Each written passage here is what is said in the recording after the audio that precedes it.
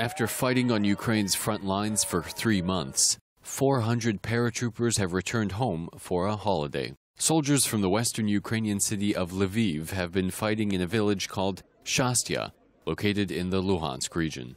Over the past three months, one of their fellow soldiers was killed and six were injured. Soldiers say attacks from Russian backed militants became more frequent and severe after the arrival of so called humanitarian aid from Russia.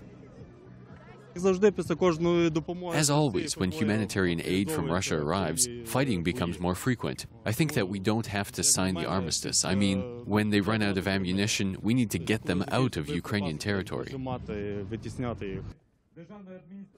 Soldiers will spend two weeks at home before returning to the front lines.